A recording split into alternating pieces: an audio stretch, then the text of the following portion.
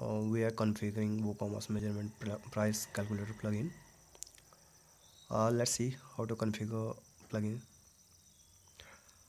Um, once you logged in with admin dashboard you'll see a measurement tab in products detail page. After that once you click on measurement tab you'll see measurement options in which type of measurement you want like area volume you can configure for that.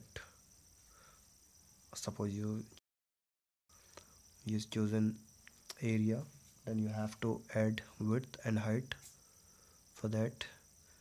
After that you need to update the product and that's all. Plugin is configured from the front end and of course if you need any help you can write us support at the rate